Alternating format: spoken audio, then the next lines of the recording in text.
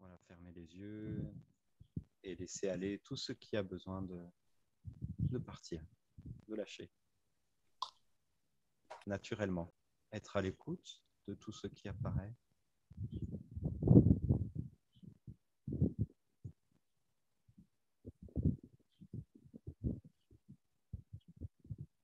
Les sensations corporelles.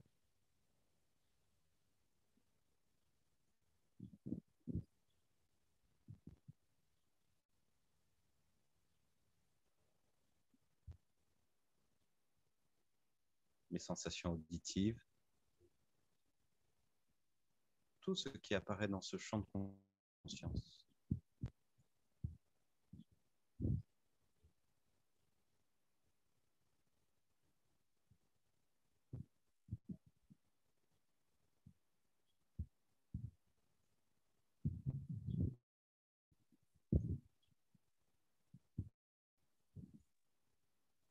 Quel est le climat intérieur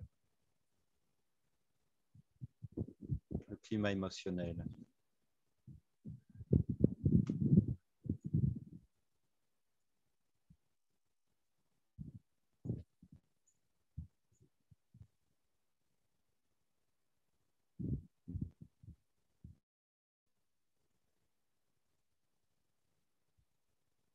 Y a-t-il de l'agitation, de la tranquillité, de l'ouverture? Quoi qu'il en soit, laissez apparaître sans rien modifier.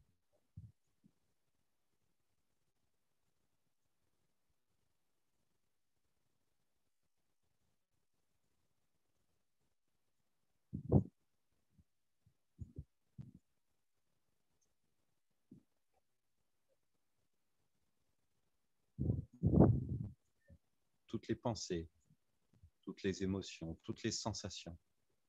Tout est bienvenu.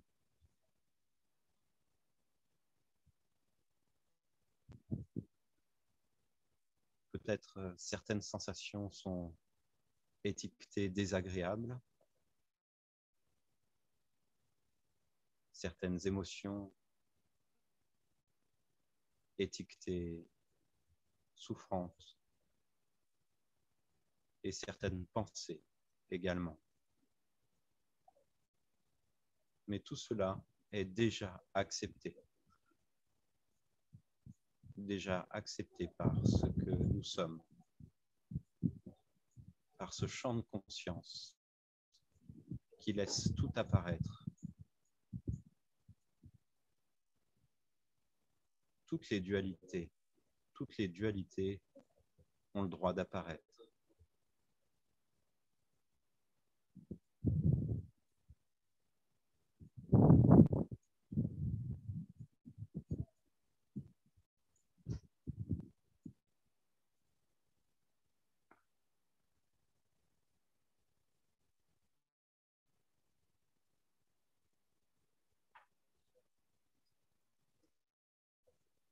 Voilà. Tout cela est du manifesté, la manifestation. Même la présence ressentie, l'être, tout cela se manifeste, apparaît.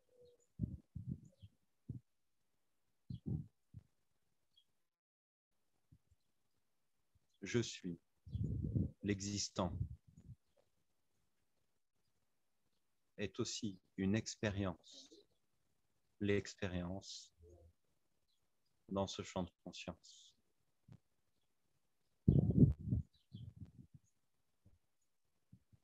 Qui suis-je dans cet univers? Que suis-je? Y a-t-il besoin d'apprendre à se connaître? Y a-t-il besoin de se chercher, de se trouver?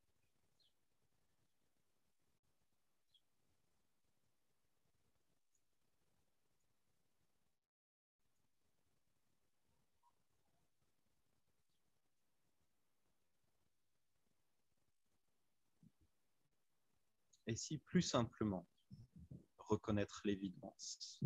L'évidence que tout apparaît sans aucun effort, aucune volonté. La présence comme l'absence.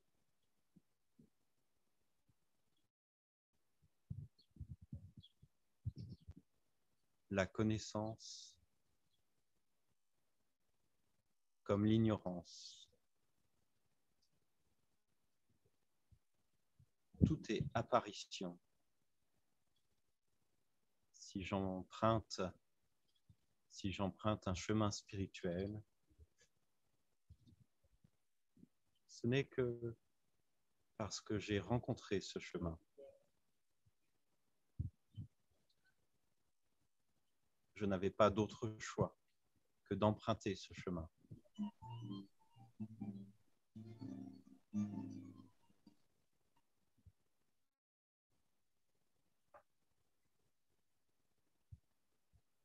Tout l'univers a conspiré, entre guillemets, parce qu'il n'y a pas de volonté, a conspiré pour que cela apparaisse de cette manière-là.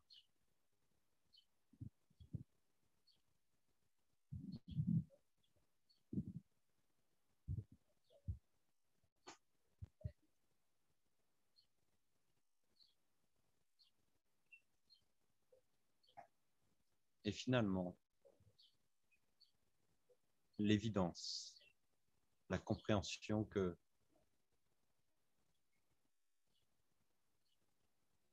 tout, est cela.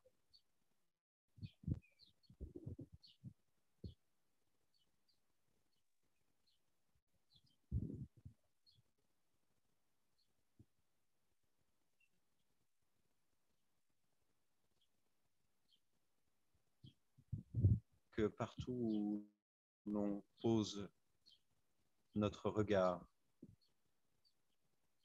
c'est cela.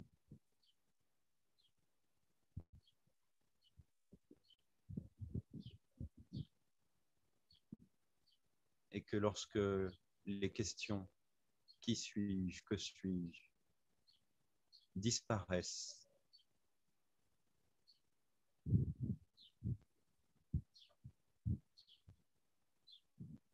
sans la réponse mentale. C'est cela.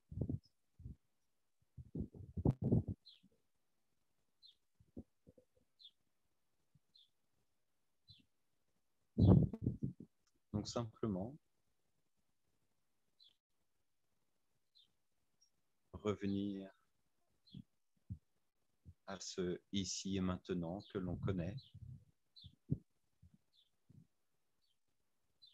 Avec la simplicité, l'ouverture, l'écoute.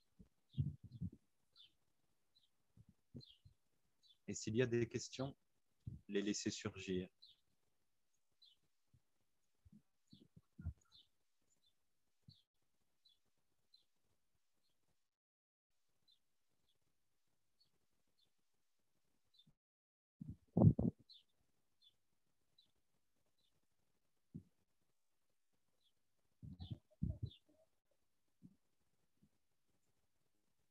Donc euh, voilà, n'hésitez pas, s'il y a quoi que ce soit qui apparaisse comme question, vous êtes les bienvenus.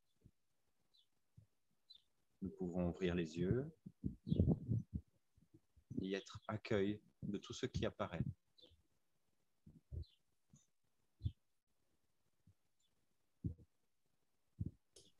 Moi, j'ai une question. Je voulais savoir si tu avais vu la dernière vidéo de Julie Anne. Non.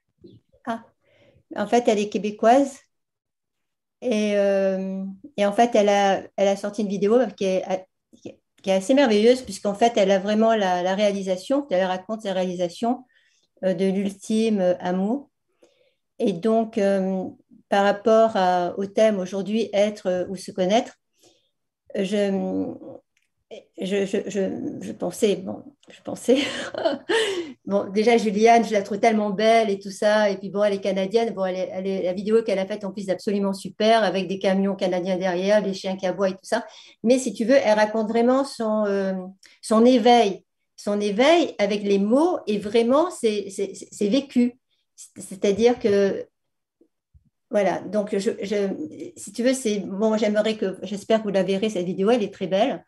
Et donc, euh, ma question était que, bon, quand je regardais Juliane comme ça, je me disais, finalement, c'est presque bisounours parce que si tu veux arriver justement à, à, euh, être le témoin, c'est-à-dire à raconter les enseignements, c'est-à-dire raconter les enseignements de donner de l'amour, de recevoir de l'amour, euh, de, de, faire l'ojang, tu vois, de, de, se purifier avec euh, toutes les négativités. C'est-à-dire, elle, elle, elle, le vit, elle le raconte. Et je trouvais que c'était. Euh, euh je c'était intéressant, jusqu'à quel point c'était un phénomène. Voilà. Et entre être et paraître, je me disais, ou se connaître, se connaître, je me disais, bon, elle, c'est être. Moi, je me connais quelque part, mais je ne suis pas dans l'être. C'est-à-dire que elle, le vit vraiment. Elle vit vraiment euh, l'amour, ce qu'est cet ultime amour, que moi, franchement, dans ma vie ordinaire, je ne le vis pas vraiment. voilà. Ben, merci. Maintenant, justement, la, la proposition être ou paraître, le lapsus était très sympathique, mais de, reconnaître que justement, euh, être, c'est aussi dans la manifestation. C'est aussi dans la manifestation comme l'amour, la, euh, distribuer de l'amour, etc. Distribuer, euh, soi-disant aussi, des enseignements. On peut, euh, tout cela est, est, effectivement inscrit dans la manifestation. Il n'y a aucun problème avec ça. C'est très beau, c'est mm. très chaleureux.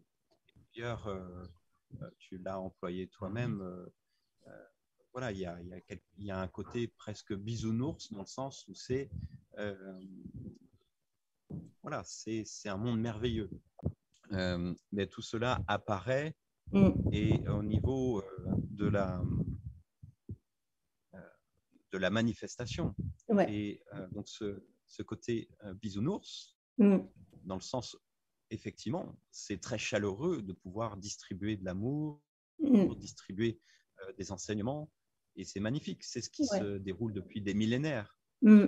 Maintenant, dans la question être ou se connaître, mais finalement, euh, c'est de reconnaître qu'il n'y a pas de choix. C'est le être ou, se connaître est finalement indépendant de notre volonté. Cela apparaît.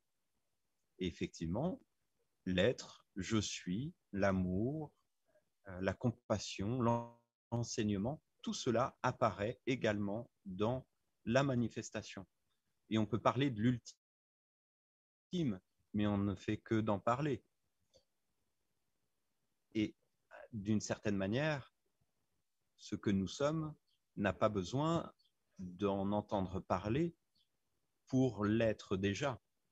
Et c'est pas quelqu'un là-bas qui l'est plus, contrairement à ce que tu as dit, Bettina, où euh, quelqu'un là-bas a réalisé quelque chose que toi, tu n'aurais pas réalisé. Ça, c'est une croyance. C'est une, croyance qui reste euh, forte, qui reste inscrite dans le, dans le monde et surtout dans ce monde spirituel où il y aurait le maître qui a euh, découvert, atteint quelque chose que les autres n'ont pas. Et ça, c'est une croyance. C'est juste ce que la, le mental continue de répéter pour se maintenir dans une dépendance, dans une hypnose. Et c'est simplement euh, quelque chose qu'on peut reconnaître comme étant euh, naturel d'un premier abord, puisque c'est rassurant, ça permet d'avoir des repères, de se, de se raccrocher à quelque chose, mais à un moment donné, on prend conscience que cela est aussi dans la manifestation et que c'est de la même manière une apparition. Juliane, c'est une, apparition. Bon, voilà, c'est sûr. en fait, c'est intéressant. J'espère que vous, le, verrez cette vidéo. Ça fait parler. Oui, ah tu as raison, tu as raison. Oui, carrément. Mais la manière dont elle raconte, comment elle vit, tout ça, comment elle vit son éveil, c'est Bon, après, c'est vrai, c'est. Puis la vidéo, alors la vidéo, elle est top. Enfin voilà. Bon, en même temps, je, pense qu'il y a aussi une mise en scène quand même. Mais en même temps, elle, elle est ce personnage et elle, elle raconte tellement bien que tu te dis. Bon, c'est magnifique. C'est comme les enseignements, c'est magnifique. La bodhisattva, c'est magnifique. Mais moi, la bodhisattva, bon, c'est.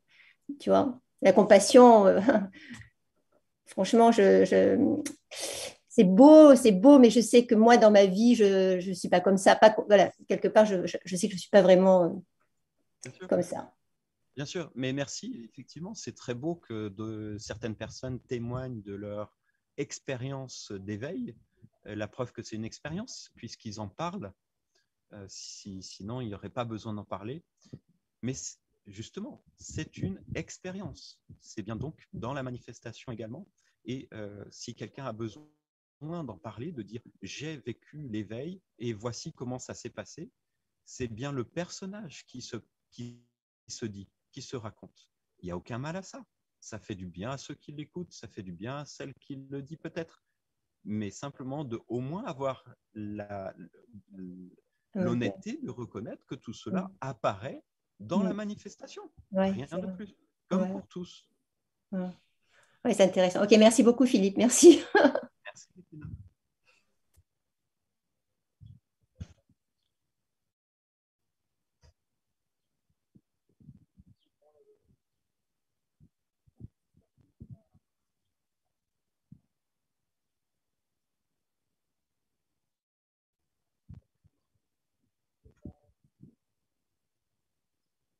N'hésitez pas si vous avez d'autres euh, témoignages ou partages, questions.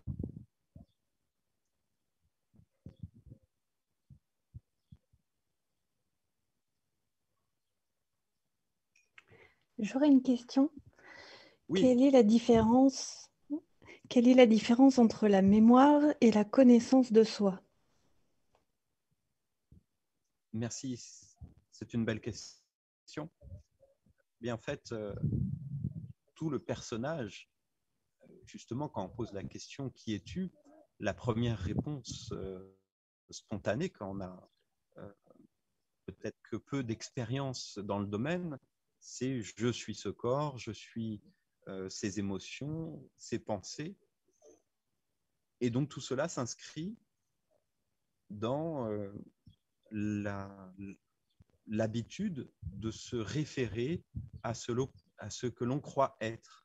Et ce que l'on croit être, bien sûr, c'est euh, dû à, cette mémoire qui s'est inscrite et qui, à laquelle on fait référence constamment mais euh, à un moment donné, on prend conscience que cette mémoire elle-même, elle, est euh, comment dire, limitée, parce que cela s'inscrit simplement avec euh, ce que l'on croit être.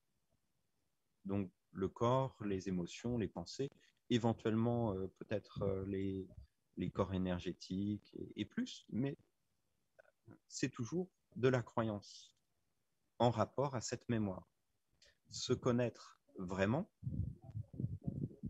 c'est peut-être justement reconnaître que cette mémoire ne dit rien de nous, que la mémoire ne s'inscrit déjà que dans le passé, alors que ce que l'on est n'est pas dans le passé, puisque le passé n'est plus, et que ce que l'on est est au-delà de toutes les perceptions, donc au-delà de tout ce qui peut s'inscrire dans la mémoire. Ce que je suis, ce que nous sommes, est cela qui ne s'inscrit pas dans la mémoire. Et pour autant, qui n'est séparé de rien. Donc qui n'est pas séparé même de l'histoire de ce personnage et donc la mémoire elle-même est une parcelle de ce que nous sommes. Mais ce n'est pas ce qui est inscrit dans la mémoire qui nous définit. Et il n'y a rien qui puisse en réalité nous définir. Tous les mots, tous les concepts ne peuvent évoquer des attributs. Et ce que nous sommes dépasse tous les attributs, toutes les dualités, tous les concepts.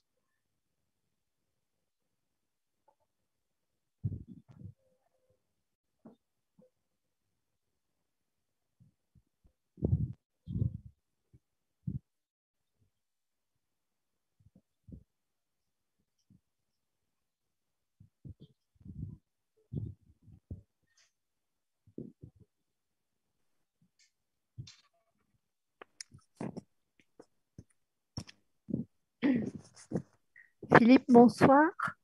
Bonsoir. Ah, on m'entend. C'est Caroline. Oui, euh, bonsoir, Caroline. J'ai, euh, je voulais partager une expérience. Euh, quand le corps de souffrance arrive, le fait d'en prendre vite conscience que c'est ce corps de souffrance et, d'y mettre donc l'observateur, la conscience, j'ai remarqué que les émotions bah, diminuent rapidement en fait. ça, c'est une, chose. Et je voulais savoir si de se mettre de plus en plus dans cet état d'observation, de, présence, augmentait euh, l'amour de soi. Parce que ça, j'ai remarqué que c'était une lacune chez moi, c'était dans mon, mon passé et, j'ai remarqué ça que, que je m'aimais pas suffisamment, pas, au niveau égotique, bien sûr. Hein. Merci Caroline pour, euh, pour cette question effectivement, ça dépend déjà de ce qu'on appelle soi, l'amour de soi. Si on parle du personnage, d'apprendre à mieux aimer ce personnage et son histoire et ses souffrances, etc. Effectivement, euh, d'apprendre à reconnaître euh, tous les éléments d'émotion, le corps de souffrance, euh, les, les fuites, les, moyens d'essayer d'échapper à tout cela, le fait d'apprendre à se connaître de cette manière-là peut aider le personnage à mieux s'appréhender, à être plus détendu, parce qu'il sait que ses émotions apparaissent et qu'il n'en est pas l'auteur cela apparaît, de même pour les pensées.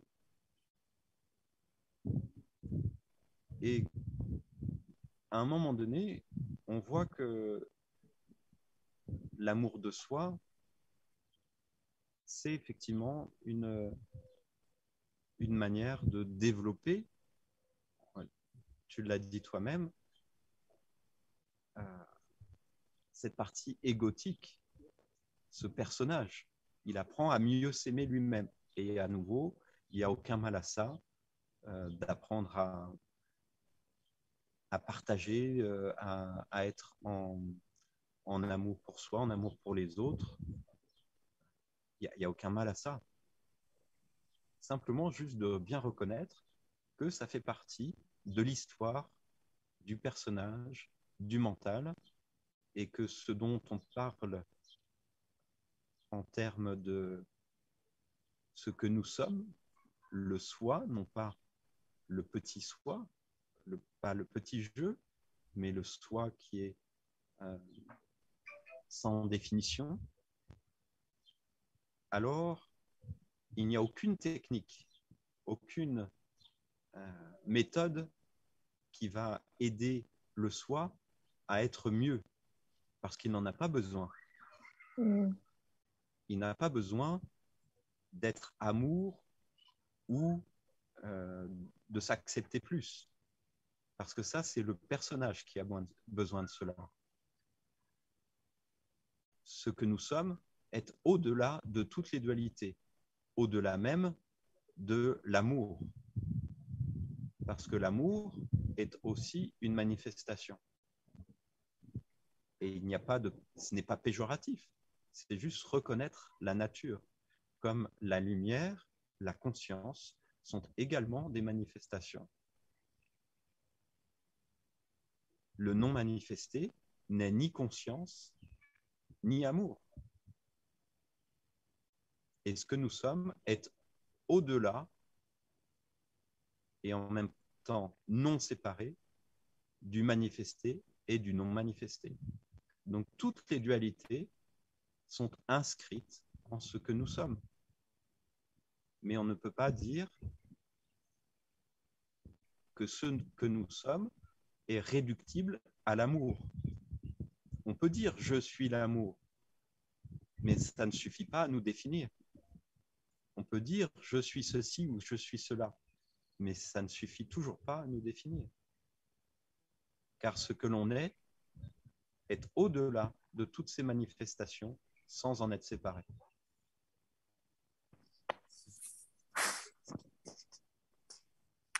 Merci beaucoup. C'est beaucoup plus clair. Merci. Merci. problem.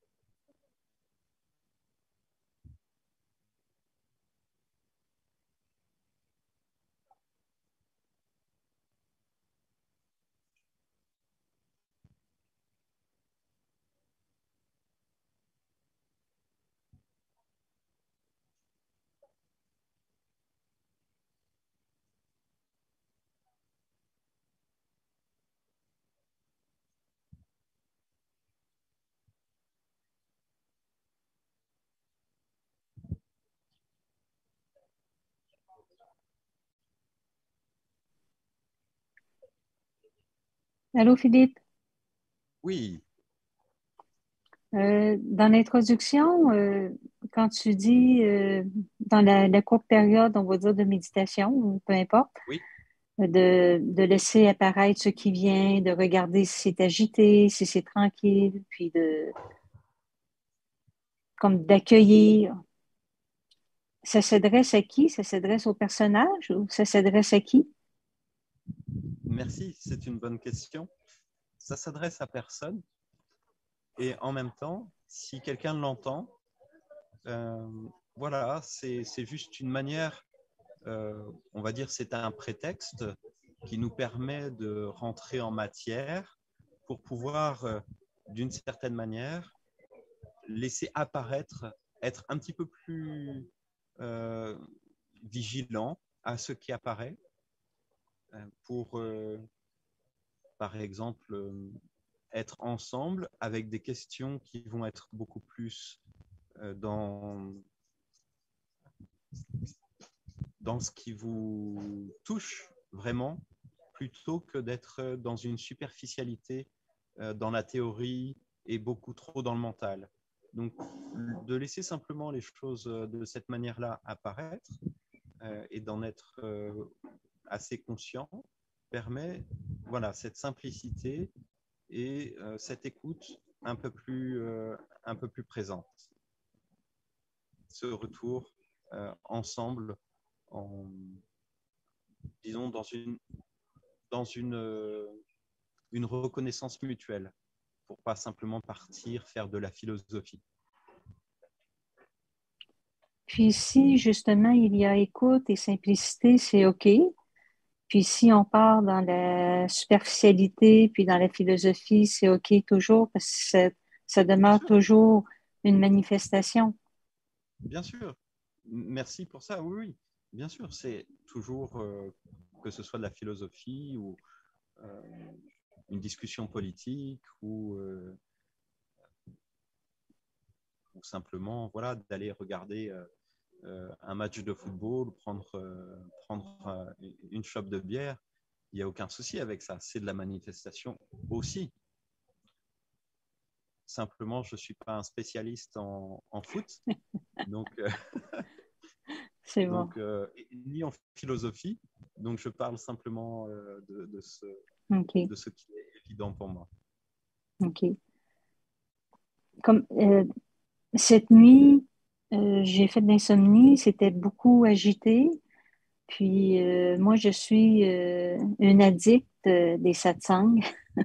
Mhm la recherche est, là euh, depuis longtemps. Donc, euh, cette nuit, c'était beaucoup agité par rapport à un événement que, que je peux étiqueter de banal parce qu'il qui est arrivé. Étiqueté, je dis bien étiqueté de banal.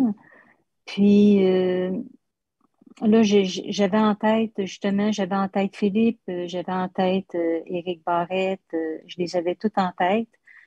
Puis, j'essayais tout simplement d'être euh, d'être présente à la manifestation, à l'agitation, puis euh, de, regarder au lieu de, prendre le train. Mais ça durait peut-être deux ou trois heures, puis l'histoire est intense, puis l'histoire se racontait, puis euh, ça a été très difficile de, de mettre dans, dans la position d'accueil, puis dans, dans le ressenti. Puis euh, la question, c'est que après toutes ces années de, recherche puis de, de satsang, euh, dans le fond, la recherche est imposée à Marie. C'est une manifestation, mais Marie cherche quand même une paix à travers ça. Puis, comme la, personne qui a parlé tantôt de Gilliane, j'ai vu aussi cette vidéo-là.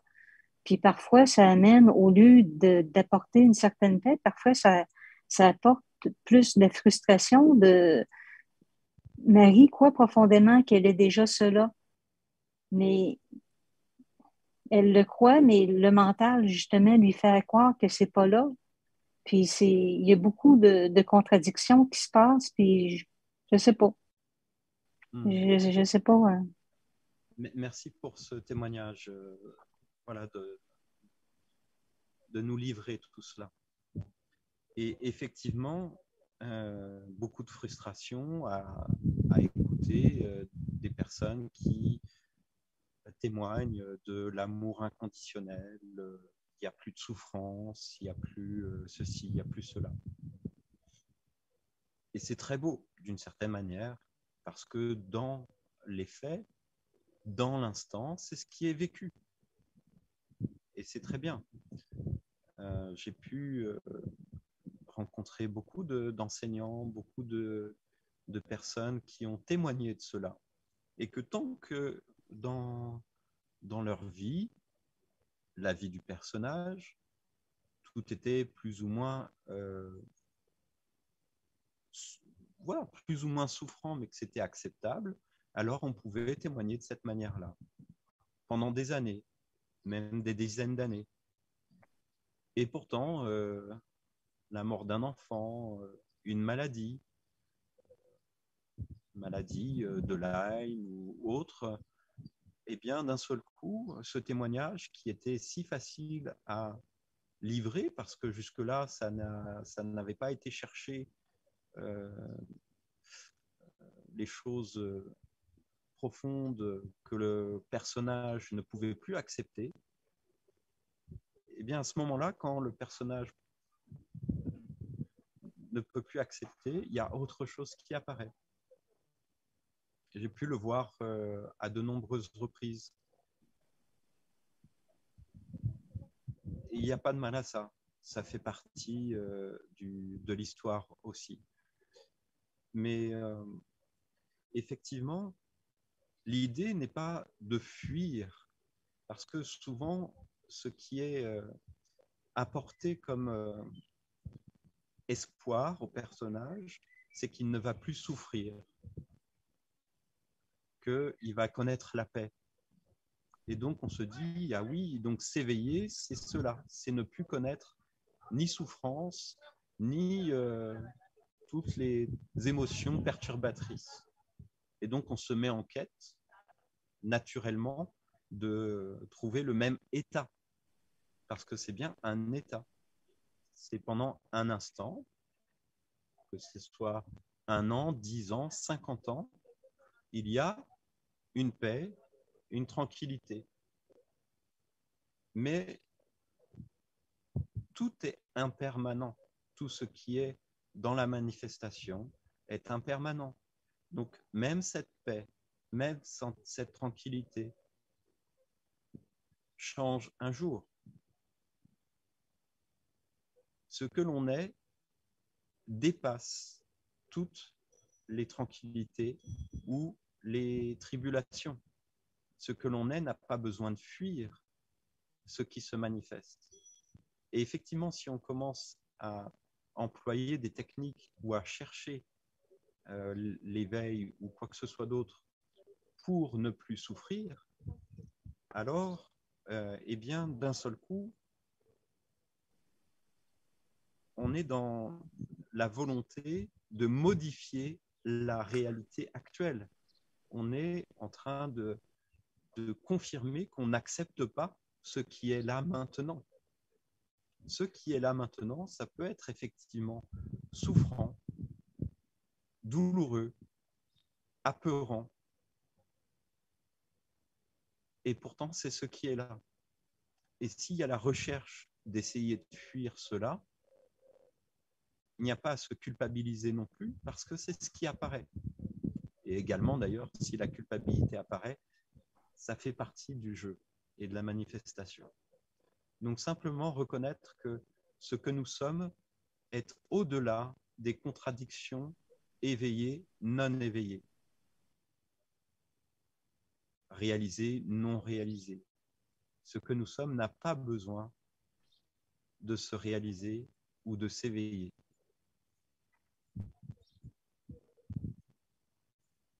C'est encore, d'une certaine manière, l'histoire du mental même si c'est un joli conte de fées, et que je ne nie pas l'expérience que l'on appelle l'éveil, mais cela reste une expérience.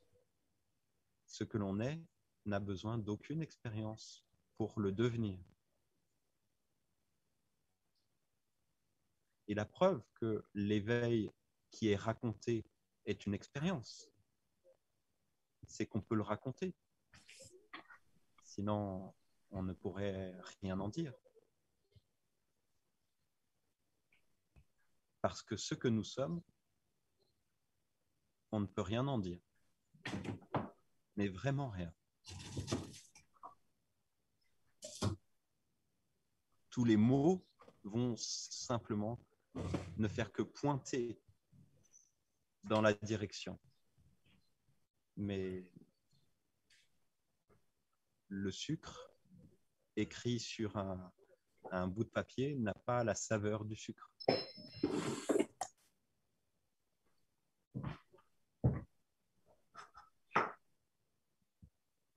On n'entend plus. Il faut rallumer le micro. Oui, ça, je comprends bien parce que j'ai toujours eu cette réflexion-là de dire que si j'ai jamais goûté une banane, on a beau m'expliquer euh, la texture, euh, si je c'est pas la même affaire de se faire expliquer le goût de la banane que j'ai toujours eu cette réflexion-là. Mais c'est ça. Mais pour conclure, euh, s'il y a une quête pour fuir ou s'il y a une quête, peu importe qu'il y ait une quête ou une recherche ou le personnage il est pour rien parce qu'il n'est pas l'auteur de, quoi que ce soit, puis tout est apparition et tout est manifestation. C'est comme ça. Tout à fait. Tout à fait. Et c'est la beauté, c'est que tout ça apparaît malgré tout. même ce qui n'est pas supportable, même ce qui n'est pas euh, agréable, apparaît de la même façon. Et pourquoi vouloir euh, le rayer de, de l'existence? C'est juste le mental qui, qui invente des histoires pour dire que ça ne devrait pas être comme ça. Et la preuve que ça devrait être comme ça, c'est que c'est comme ça. C'est comme ça. Puis le mental, le, le mental aussi, le fait qu'il raconte des histoires, c'est encore là une manifestation, puis c'est comme ça aussi.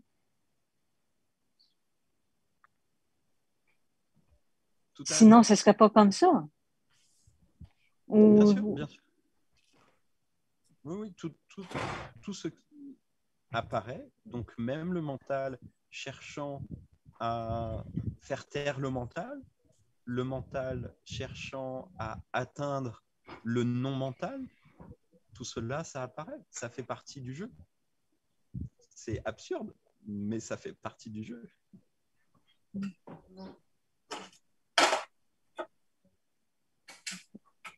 Ce que nous sommes n'a pas besoin d'être atteint. Nous le sommes. Euh, Philippe, s'il te plaît. Oui. Tu m'entends? Oui. Du coup, du coup euh, je voulais te demander euh, ce que nous sommes, on, ne peut pas le connaître. Alors, on, on ne peut pas en faire l'expérience par les sens. Effectivement, effectivement, faire l'expérience de ce que nous sommes n'est pas n'est pas possible. Pas possible, on arrive à et c'est ça qui est difficile dans la recherche en fait parce que j'ai l'impression que dans la recherche c'est essayer de saisir euh, par d'une façon ou d'une autre ce que c'est. Et, et, là en t'écoutant je me dis mais en fait on, on ne peut pas le connaître. C'est ça, c'est l'inconnaissable. C'est effectivement, on, peut avoir des expériences, euh, on peut avoir euh, la joie de connaître des, états mystiques, des ouvertures de cœur, des montées de Kundalini, des ouvertures de chakras, euh, des, des grandes expériences de samadhi ou d'éveil. Tout cela est possible. Je ne dis pas le contraire. Mm-hmm mais ce n'est pas, ce l'expérience. Mais ce que nous sommes, oui, je comprends. Ce que nous sommes est au-delà de toutes ces expériences. Au-delà. Oui, c'est le au-delà qui. Et en même temps, le mot au-delà n'est pas juste. C'est qu'il y a oui, parce qu'en même temps, c'est, là. Oui, parce que c'est de là, mais en même temps, c'est là. Et effectivement, ceux qui n'ont pas réalisé ces expériences extraordinaires ont quelque part une chance parce qu'ils n'ont pas l'impression euh, d'avoir trouvé quelque chose ou de devoir maintenir quelque chose. Parce qu'une fois qu'on a ne pas s'accrocher à quelque chose qu'on a, qu'on a, qu'on a connu, euh, comme si c'était la vérité. C'est ça, effectivement.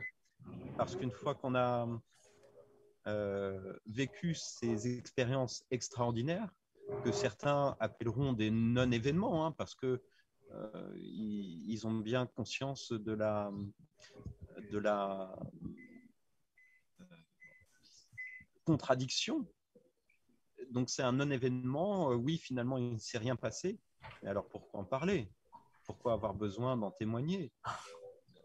C'est à un moment donné, il faut être clair avec tout ce qui tout, ce qui apparaît et même les questions pourquoi pourquoi cette histoire, pourquoi ce personnage, c'est encore une question du mental. Simplement, le mental a, besoin de se raconter des histoires et il n'y a aucun mal à ça. Oui. Il n'y a aucun mal à ça, ça fait du bien. Ça fait du bien pour, euh, euh, pour ceux qui, qui, momentanément y croient, euh, ou même pendant longtemps. Et, mais à un moment donné, ça peut aussi créer des frustrations. Oui. Et tout, cela, euh, j'ai à, cœur juste de, le, de, remettre les choses à plat parce qu'il y a trop, dans le monde spirituel, de, de confusion. Oui, je te remercie. Euh, je te remercie. Ça fait plusieurs fois que, que j'assiste je, euh, au Zoom et, et c'est vraiment ce qui correspond à, à ce que je, à ce que je ressens, si on peut dire.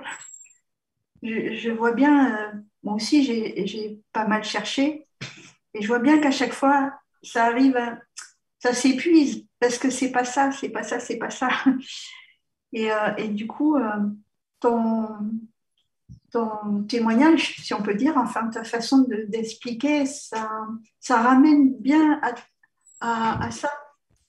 Ça ramène bien dans, dans le fait que toutes ces expériences sont des expériences et que ça peut donner un, but, mais que en fait, euh, voilà, il arrive un moment où ben, c'est pas ça. oui, tout à fait. Et effectivement, je viens de voir passer le message que de renoncer à toute convoitise spirituelle, c'est effectivement ça. L'ego spirituel a besoin de se nourrir d'histoire, de, de croyances, euh, de réalisation, d'expérience, de. C'est. Euh, excuse-moi de, te couper, c'est, je ressens aussi comme euh, une sécurité, comme si. ah, il y a quelque chose. Donc c'est une sécurité de dire je m'accroche à quelque chose. Oui. Et si on n'a pas ça, ça réveille des peurs aussi. Hmm. Oui, oui, ça, Au mental. rassure énormément. Les, euh, les, religions ont d'ailleurs été euh, bâties sur, euh, sur beaucoup de, dogmes qui, qui, rassurent, qui permettent de, de, calmer le mental pendant un temps. Et d'une certaine manière, le milieu spirituel, Néo-Advaita, fait la même chose. C'est exactement, il y a, il y a il y a des adeptes, des, euh, des croyants et euh, d'une certaine manière des papes. Oui. Il n'y a pas de mal à ça. Mais à un moment donné, de prendre conscience que c'est une religion. Et que ce que nous sommes, euh, au-delà, est au-delà de toute religion. Parce que religion, c'est religuer, c'est relier. Ce que nous sommes n'a pas besoin d'être relié. Parce que pour relier, il faut un lien, il faut une connexion et il faut être séparé. Et il faut deux, oui. Mhm. Et donc, euh, effectivement, nous sommes, nous sommes déjà cela. Donc, il n'y a pas besoin de relier quoi que ce soit et nous ne sommes pas deux. Celui qui aurait besoin d'être relié à l'ultime. Nous sommes déjà tout ce qui dépasse l'entendement. et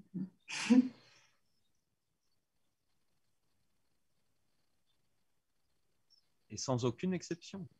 Même celui qui croit ne pas y être l'est malgré tout. Et ce sont des mots qui ne sont pas justes, puisque je n'en ai pas d'autres. Ce n'est pas l'être, puisque ça dépasse même l'être et le non-être.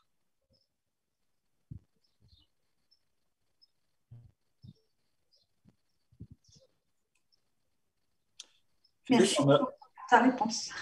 On A, on a une main levée pour euh, Isabelle. Isabelle, si tu veux ouvrir ton micro pour poser la question. Euh, oui, bonjour. Euh, est-ce que vous m'entendez bien? Oui, très bien. Bon, oui, en fait, il s'agit de, l'évolution. il me semble que tant qu'on ne fait pas la part des choses entre, entre le soi, peut-être, je ne sais pas si on peut utiliser ce, ce terme de Jung, euh, et, l'ego, euh, il me semble qu'on se retrouve euh, éventuellement en situation de danger à croire que l'ego doit se comporter comme cette part de soi qui est, qui est hors de notre conscience d'une certaine manière et qu'on ne peut en aucun cas piloter. Et si on croit qu'on peut transposer toutes ces, ces, qualités, enfin quand je dis qualité, on est déjà en train de définir, alors que ça n'est pas définissable, mais toute cette, euh, cette façon d'être, et si on peut la transposer à l'ego, euh, je pense qu'il peut y avoir une confusion dangereuse, et il me semble que beaucoup d'entre nous cherchons à, à être justement, à vivre comme cette part de soi qui est indicible, et que ça peut casser tout le rôle de l'ego qui est euh, fondamental à défaut d'être essentiel, il est fondamental qu'il soit fonctionnel. Et, quand on a un éveil, je pense qu'il se casse, mais pour autre chose. Et si on cherche à le casser soi-même, ça me semble extrêmement dangereux. Et, et je pense que l'évolution de l'ego est quelque chose à conserver en essayant de rester à l'écoute de tout ce qui peut nous, les pensées que qu'on pourrait capter, qui sont, quelle qu'en soit, l'origine, euh, il faut rester quand même à l'écoute de ça parce qu'il y a des enseignements et puis il y a, quand même une évolution, même s'il faut se débarrasser de cette, et, il le faut, de, cette convoitise spirituelle, il y a quand même la place pour une évolution de l'ego, pour euh, devenir réceptif, s'ouvrir et ne pas mélanger ça avec le ce qui n'est pas évoluable. Je voudrais savoir ce que vous en pensez. Oui, merci Isabelle. Euh,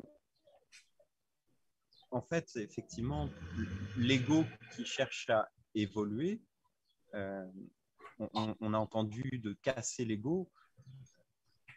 Il y a ça aussi dans, dans les milieux spirituels qu'il faudrait casser l'ego, anéantir le mental, etc.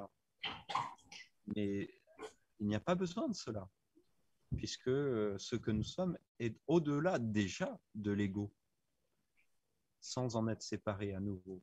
Et donc, effectivement, l'ego, euh, ce n'est juste qu'un outil. C'est comme un... Un outil d'adaptation. C'est un outil. Essayer effectivement d'évoluer ben, pour le personnage, pourquoi pas C'est euh, ce qu'on appelle du développement personnel. Ça peut faire euh, du bien, ça peut permettre d'être moins euh, pris dans ses tourmentes, euh, etc. Mais ça n'a pas de conséquences, effectivement, sur, sur ce que nous sommes déjà, déjà qui est au-delà de tous les attributs. Et vouloir avoir un ego qui se, qui se rapproche de la sainteté, effectivement, on entend cela. il y a cette confusion entre euh, s'éveiller et, euh, être euh, le saint qui n'a aucun défaut, plus d'émotions négatives, plus de pensées inadéquates, etc. Mais c'est de la confusion également, parce que ça voudrait dire que il y a encore une fois des choses qui sont bonnes et des moins bonnes des choses sacrées ou non sacrées. Soit tout est sacré, soit tout est profane. Mais il n'y a pas de. Il ne peut pas y avoir euh, quelque chose qui est en dehors du sacré, puisque tout est cela. Mais il y a quand même des atmosphères qui sont lumineuses et d'autres qui ne le sont pas.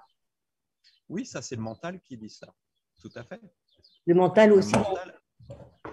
Le mental, aussi. a besoin, le mental a besoin effectivement de, repères, des choses qui vont lui dire, euh, comme, quand on est bébé, le mental donne, euh, ou, pour les animaux aussi, euh, dans le cerveau, il y a des, des circuits de récompense. Donc, il y a j'aime, j'aime pas, c'est bénéfique ou négatif, c'est binaire.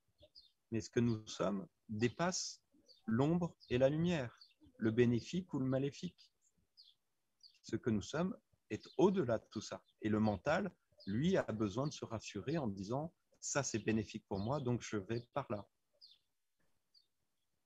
Et il n'a pas tort en même temps. Il n'a pas tort pour lui-même, mais c'est juste qu'un jugement, qu'une étiquette. Nécessaire. Parce que pour quelqu'un d'autre, pour quelqu'un d'autre, ça sera l'inverse. Oui, mais c'est nécessaire d'avoir quand même, à défaut d'un jugement, une évaluation de ce qui va nous aider à se construire, de ce qui va vers l'instinct de vie versus ce qui va vers l'instinct de mort. Oui, oui, bien sûr, pour le, pour le personnage, c'est important. Mais là, on parle de ce qui est au-delà du personnage. D'accord.